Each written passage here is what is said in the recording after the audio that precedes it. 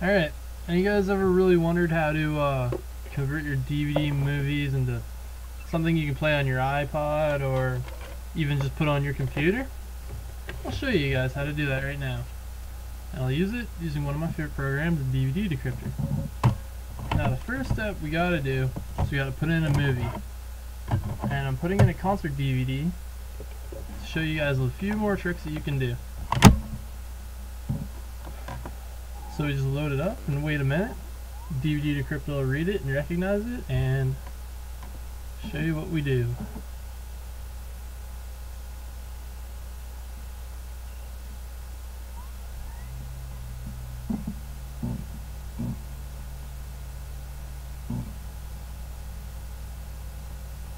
Okay, so DVD Decrypter knows this is a DVD. So what we want to do is we want to go to IFO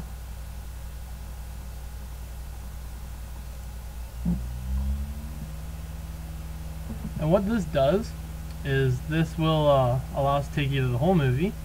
Um, we can do that just by selecting every single chapter. It'll come out as one entire movie.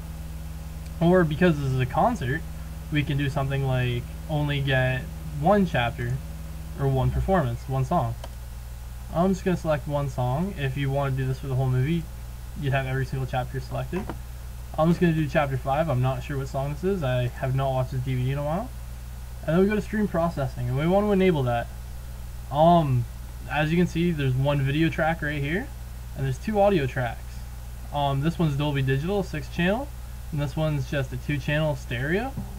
Probably go for the better one, so get rid of that. Um, if there's uh, if this is an actual movie, then there might be subtitles and things like that in here. You'd want to get rid of them. So as soon as we do that, we just pick a spot where we want to save it. I'll save it to my desktop. It's easier that way for me. And then we just hit DVD and decode it.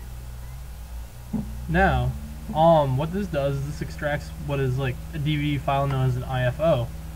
Um, this contains the movie and stuff, and uh, as soon as it's done, um, if you have a program called VLC or any other DVD playing program, not Windows Movie Maker or uh, Media Player, as far as I know, um, you can actually watch it and play it.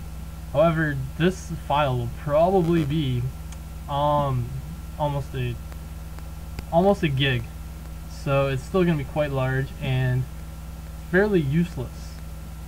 So what we got to do is we got to get a uh, program to convert it. Now there's a few you can do. If you're wanting to do put this on say your PSP or your iPod, um, I would get a program called 3GP converter. It's fast, it works very efficiently, and uh, and it's just a really great program if you're using your iPod or if you're using your PSP.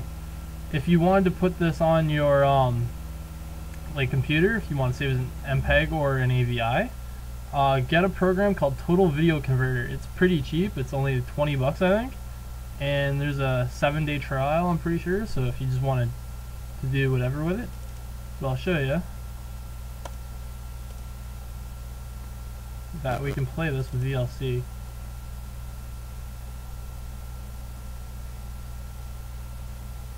Once this loads up.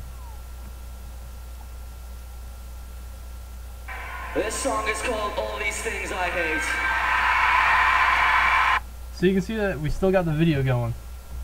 But it is 200 megabytes, which is still fairly large. And uh, your PSP or your iPod will not play it. So find 3GP converter.